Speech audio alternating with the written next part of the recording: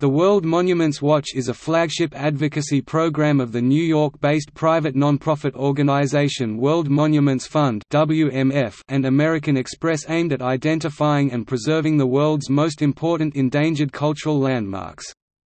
It targets selected sites for immediate action, to call attention to the need for innovative approaches to protect threatened sites throughout the world.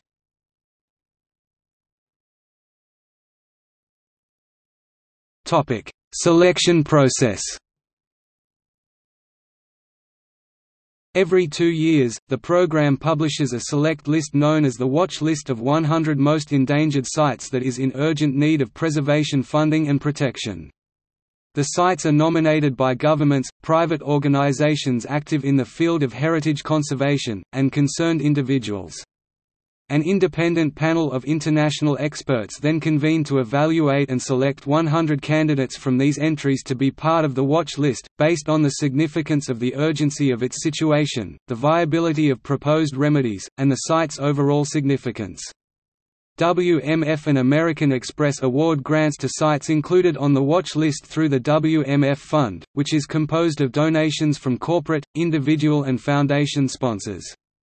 These grants are meant to support activities such as strategic planning, emergency and technical assistance, educational and local fund-raising programs, and conservation treatment.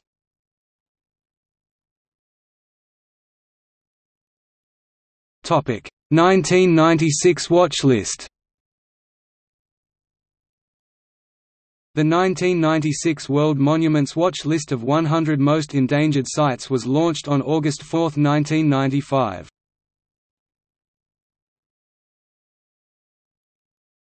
Topic: List by country, territory.